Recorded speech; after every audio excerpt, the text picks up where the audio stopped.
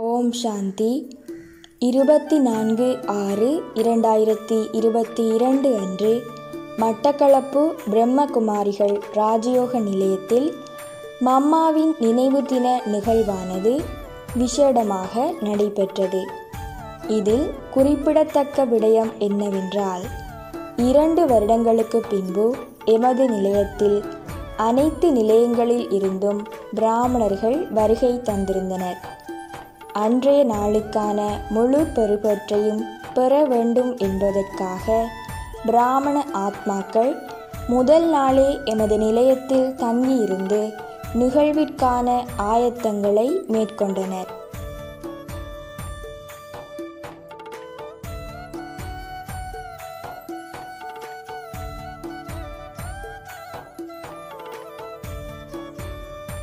அன்றைய நாள் அதிகாலை மூன்று மணிக்கு சக்தி வாய்ந்த அமிர்த வேளையுடன் நிகழ்வு ஆரம்பமாகியது.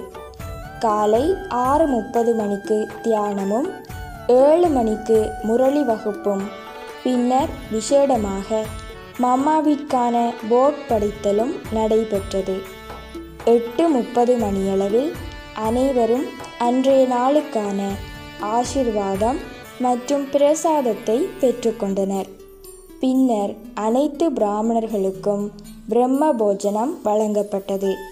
அதனைத் தொடர்ந்து ஒன்பது முப்பது மணி தொடக்கம் பத்து முப்பது மணி வரை ஆக்கப்பூர்வ தியானம் சகோதரிகளினால் வழிநடத்தப்பட்டது. பத்து முப்பது மணிக்கு மம்மாவின் வாழ்க்கை வரலாறு மற்றும் பல ஆக்கங்களை கொண்ட விஷேடமாக தயாரிக்கப்பட்ட காணொளியை அனைவரும் பார்த்து மகிழ்ந்தனர்.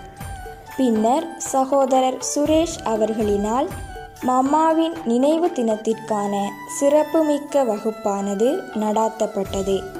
இறுதியாக அனைத்து பிராமணர்களும் தங்கள் பிரம்ம போஜனத்தை பெற்றுக்கொண்டதுடன் நிகழ்வானது நிறைவு பெற்றது.